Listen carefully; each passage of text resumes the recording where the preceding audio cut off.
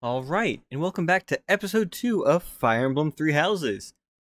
This is picking up exactly from where we left off last episode and hitting save right now. Let's find out what. Ooh, what's that? My thank you so much.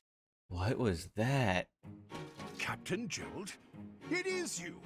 Goodness, it's been ages. Ah, it's Jeralt, not Don't Gerald. you recognize me? It's Alois, your old right-hand man. Well, that's how I always thought of myself anyway. Eloise. Oh, it must have been 20 years ago that you went missing without a trace. I always knew you were still alive. Eloise. You haven't changed a bit, Alois, just as loud as ever. And drop that captain nonsense. I'm not your captain anymore. Eloise. These days, I'm just a wandering mercenary, one who has work to do. Uh, goodbye, old friend. Eloise. Right. Goodbye, Captain. Eloise. Wait, that isn't how this ends. I insist that you return to the monastery with me. Eloise. Garreg Mach Monastery. Ah, I suppose this was inevitable. Eloise. And how about you, kid? Are you the captain's child? Eloise. I'm a bandit. Great sense of humor, this one. Clearly cut from the same cloth as the captain. Uh, Eloise. I'd love for you to see the monastery too. You will join me, won't you? Uh, Eloise.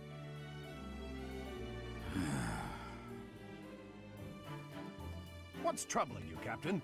You aren't about to run off again, are you? Uh, Eloise. Even I wouldn't dare run from the Knights of Seiros. Eloise. The Knights of Seiros. They do seem rather skilled. They've done nothing. They just showed up and ran after other things. Ah, it seems your presence is required. Get going. I like Sothis. I like Sothis. Alois. Alois. I appreciate your help back there. Your skill is beyond question. Thank you. You're clearly an experienced mercenary. And your father, that would be Jeralt, the Bladebreaker? Former captain of the Knights of Seiros, oft praised as the strongest knight to ever live. Have I missed anything? He's my father? How curious. I'd wager the explanation for that is fascinating indeed. I didn't know he was my father. Hey, you are coming with us to the monastery, right? of course you are. I'd love to bend your ear as we travel. Oh. Oh, I should mention that the three of us are students of the Officers Academy at Garreg Mach Monastery. He hitting on me? doing some training exercises when those bandits attacked. I definitely got the worst of it. Excuses. That would be because you ran off. Too true. I was the first to make a strategic retreat. Quote unquote. Everything would have worked out if these two hadn't followed me and ruined everything. Because of them, every single one of those bandits chased after us. Utterly ridiculous. Ah, so that's what you were thinking, Claude. And here I thought you were acting as a decoy for the sake of us all. His intentions were as clear as day. You will prove a lacking ruler if you cannot see the truth behind Ha. a person's words. Ha. You will prove a lacking ruler yourself if you look for deceit behind every word and fail to trust those whom you rely on. Oh, Oh. joy. A royal debate between their highnesses.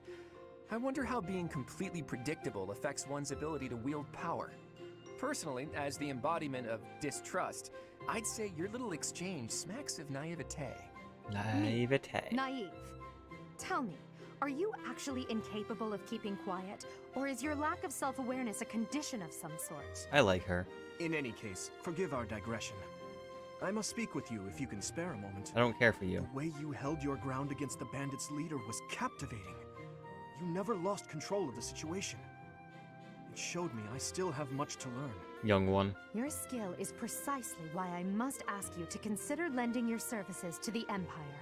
Which Empire? I might as well tell you now. I am no mere student. I am also the Adrestian Empire's. Halt, Edelgard.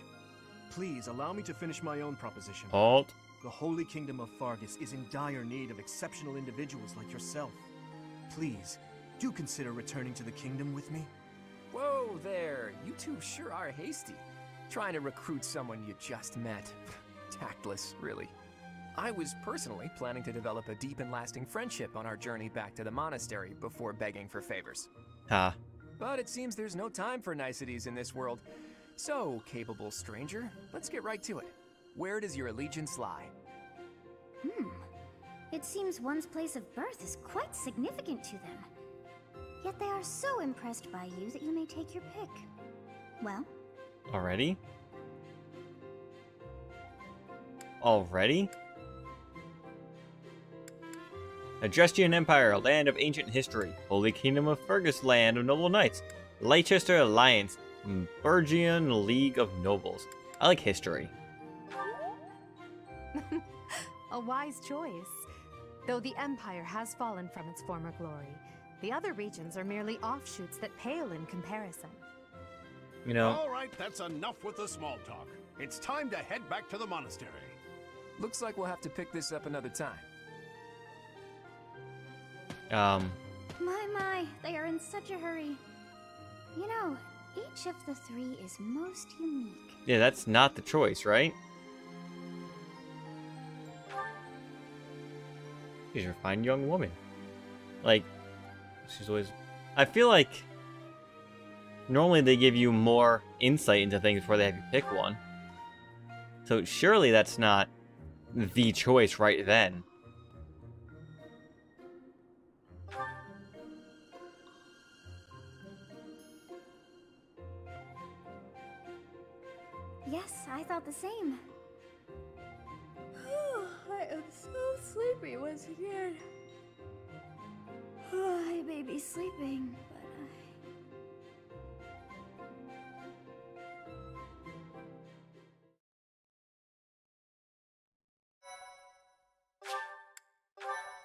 All right.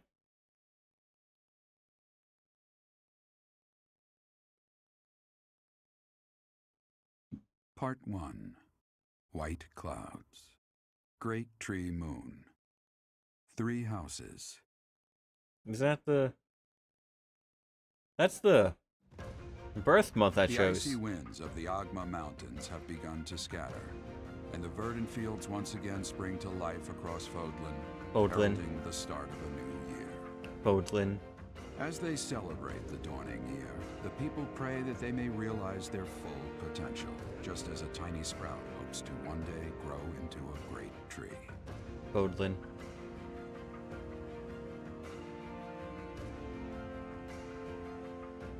The continent of Fodlan, said to be protected by a revered goddess, has existed since time immemorial.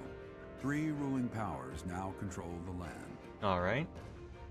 In the south lies a region long held by a more than 1,000 year old dynasty, the Adrestian Empire. Beyond its borders, to the frigid north, is the home of the Holy Kingdom of Faerghus, ruled by the royal family and its knights. I like cold areas. To the east, a league of nobles that heeds no king nor emperor rules what is called the Leicester Alliance. Once consumed by a tempest of war and turmoil, Fodlan and these three mighty powers now exist in relative harmony. Relative.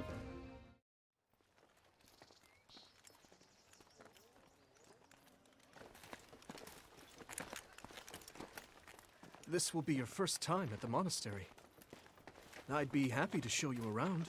It really is Fodlan in a nutshell. The good and the bad. Like it or not, we'll be there soon enough.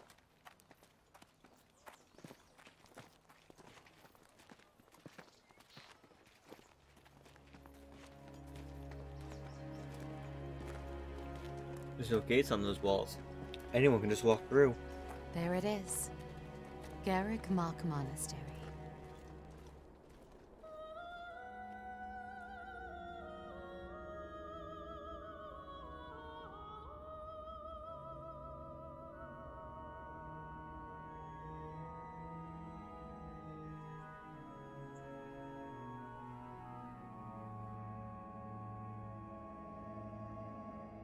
All right.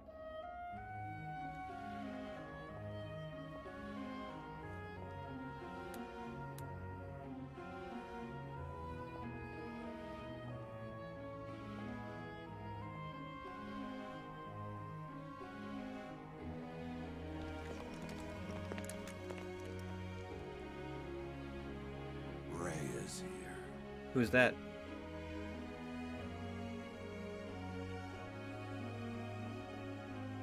Oh, that. But who is it? Like, what does she matter to I us? wonder, did the flow of time bring you here? I mean, technically, it brought everyone here who's here, right? No, am I wrong?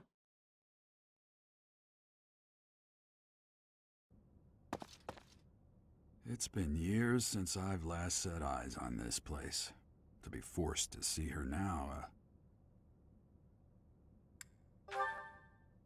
I've never spoken of this to you before, but many years ago, I was a knight here. I reported to the Archbishop, Lady Rhea. As you know, the majority of folks in Fodlan are devout followers of the teachings of Seiros. The leader of that ridiculously large religious organization is the Archbishop, Lady Rhea. Thank you for your patience, Jeralt. My name is Seteth. I am an advisor to the Archbishop. Seteth. Right. Hello. It has been a long time, Jeralt. I wonder, was it the will of the goddess that we have another chance meeting like this? Maybe. Forgive my silence all these years. Much has happened since we last spoke. So I see. The miracle of fatherhood has blessed you. That is your child, is it not? Yes.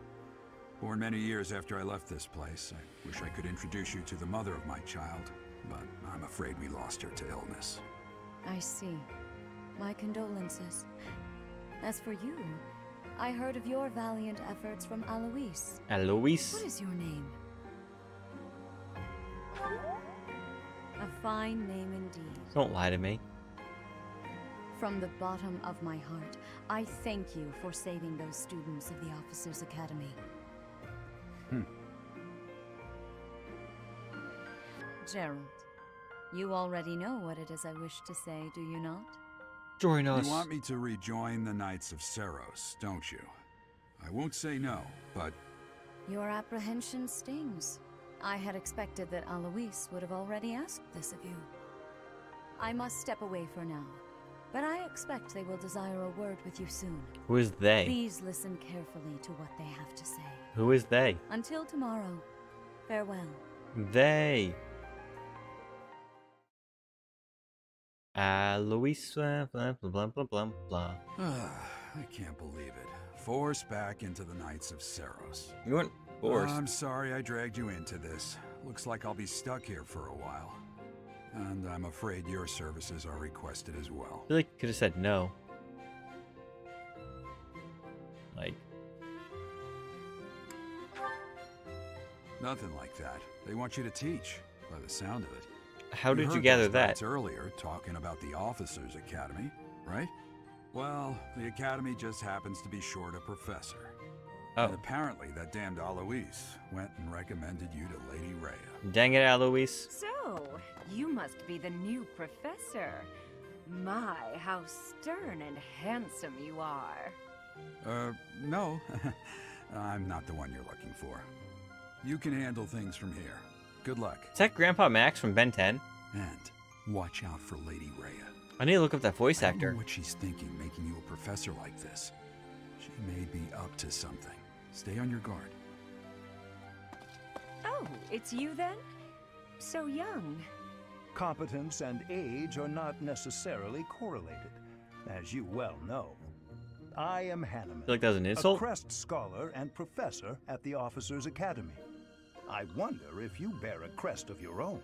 What? When next you have a moment to spare, I insist that you pay me a visit so we can delve into the subject further. You hitting I'm on me? Manuela. I'm a professor, a physician, a songstress, and available. It's nice to meet you. You just insulted me before. I look too pretty for that line of work, do I? But yes, when I'm not teaching, I can be found in the infirmary. Okay. If you're ever lonely, please do come and pay me a visit. I would love to. Spare our colleague the needless chatter, Manuel. There's Now, only two professors? It professors? seems you'll be Three? taking charge of one of the Academy's three houses. I expect you haven't yet been briefed on the nature of each, have you? Nope. Do you really not know? Fine. I'll do you a favor and explain. You consider that a favor? The Officers Academy is comprised of three houses of students, each of which is closely affiliated with its region of origin. The Black Eagle House is for students from the Adrestian Empire. Their house leader this year is Edelgard, the Imperial Princess, who is in line to be the next Emperor. Alright. The Blue Lion House is for students from the Holy Kingdom of Faerghus. Their house leader this year is Prince Dimitri. He is to be the next king of Faerghus. I don't like holy empires of blah. There is the Golden Deer House, which is for students of the Leicester Alliance. Their house leader is Claude, grandson to Duke Riegan, the leader of the Alliance. To think that the next emperor, king, and sovereign duke are all here. It certainly is a promising year for the Academy. Or a year for I'll everything to be say, let for a I big just hope letdown. None of those little treasures cause any trouble. Hmm, quite. For now, I suggest taking a stroll around the Academy to get your bearings. And when you've a moment, please stop by my research laboratory. He's hitting on The me old again. man has a point. Oh, and keep in mind that I've only notified the house leaders that you're our new professor. It's more fun that It way. is more fun that I way. suggest you try spending time with the students. Some odd ducks in that bunch, but they're good kids. Are they though? I'm sure Lady Rhea will have more information for you tomorrow, but that should get you going. Good luck. You'll need it. Oh, thank you. Have you no intention of changing your mind, Rhea? Appointing a stranger, a child no less, as a professor at our esteemed academy is... I have made my decision, Seteth. I know worrying comes naturally to you, but there is truly no need. That stranger is Jeralt's flesh and blood, after all. I can't say that's all too comforting. How trustworthy is this Jeralt character? Is he not the man who went missing after the Great Fire 21 years ago? I would remind you that Flayn is now here with us as well. I beg of you, Flayn. please consider whether this is an unnecessary risk. Seteth, they have my trust. Let that be enough for you as well. More Blame. importantly, I have received a report from Shamir. I am increasingly concerned about a matter regarding our suspicious individual.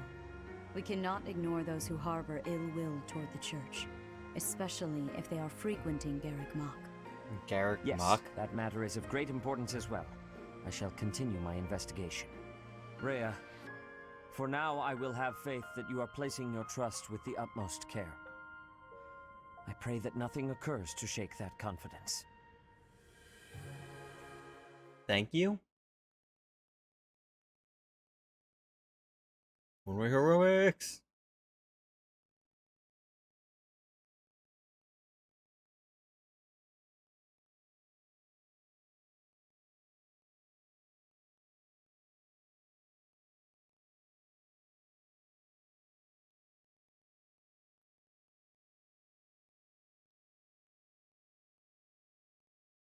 There we go.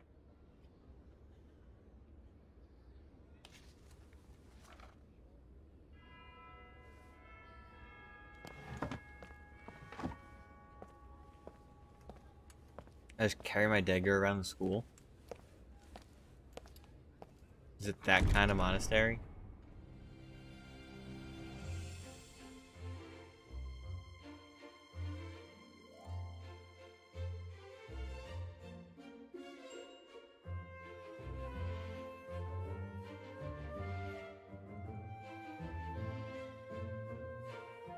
Hey, it's that guy.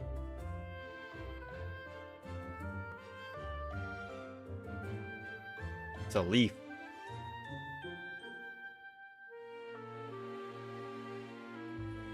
I think I just saw a necromancer.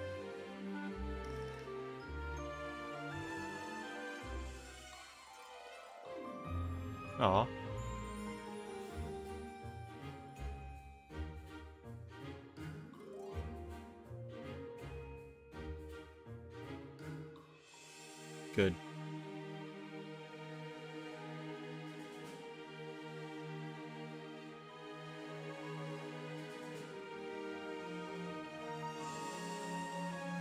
You got a weird haircut, dude.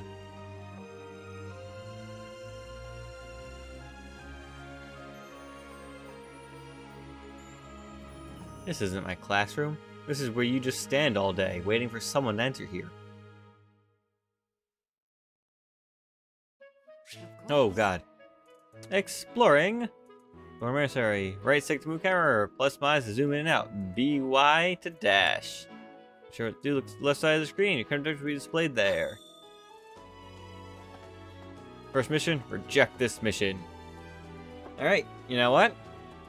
That's 20 minutes right there. So let's... Oh god. Not what I wanted. Let's call this episode 2. And let's start episode 3 out with the exploring of the monastery. You all for hanging out. I know this episode is 99.999% cutscene. That's pretty much what the entire video will be. Yeah, it happens. If you like what you like, then like it and subscribe and check me out on Twitter, Instagram, Twitch. All the same username. And I hope to see you all for episode 3. Bye.